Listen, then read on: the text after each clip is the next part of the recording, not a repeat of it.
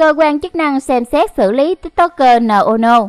Đại diện Cục Phát thanh, Truyền hình và Thông tin Điện tử cùng phía TikTok cho biết hiện đã ghi nhận phản ánh về trường hợp của TikToker NONO và đang tiến hành xử lý vụ việc.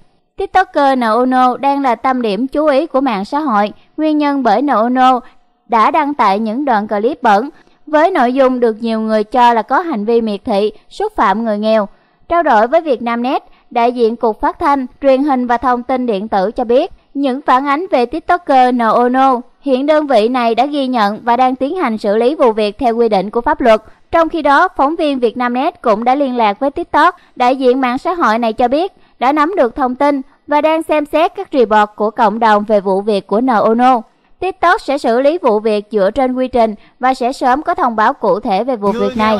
Đại diện TikTok chia sẻ, TikToker Noono sinh năm 1996, có tên thật là Phạm Đức Tuấn.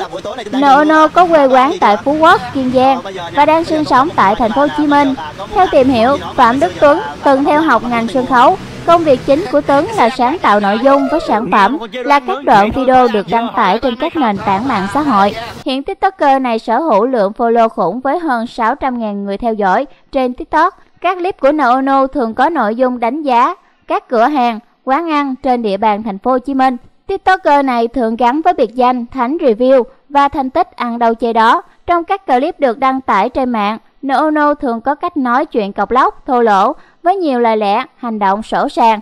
Phản ứng lại trước các clip chơi nhiều hơn khen của tiktoker này, nhiều cửa hàng thậm chí còn dán ảnh NONO ngoài cửa cùng dòng chữ ở đây xin phép không đón tiếp. Dù nhiều lần nhận về những ý kiến trái chiều, NONO vẫn thản nhiên khi liên tục đăng tải các đoạn clip được dân mạng đánh giá là phản cảm, xúc phạm người khác.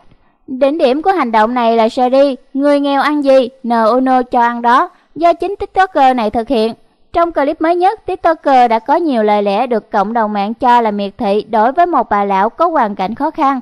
Chính vì thế, một làn sóng tẩy chay NONO đã xuất hiện và được dân mạng lan tỏa trên khắp các nền tảng mạng xã hội, từ Facebook đến TikTok. Trước động thái đó, NONO không những không hối lỗi mà còn lên tiếng cảm ơn cộng đồng mạng vì lượng người theo dõi đang tăng với tốc độ nhanh chóng mặt. Những lời lẽ cư xử không đẹp của NONO đang khiến các cư dân mạng dậy sóng Thậm chí dân mạng còn đang liệt kê danh sách các nhà hàng, quán xá mà NONO hợp tác để tẩy chay, đồng thời kêu gọi đơn vị quản lý nền tảng là TikTok và các cơ quan chức năng sớm có động thái nhằm loại bỏ những người sản xuất nội dung bẩn như NONO trên các nền tảng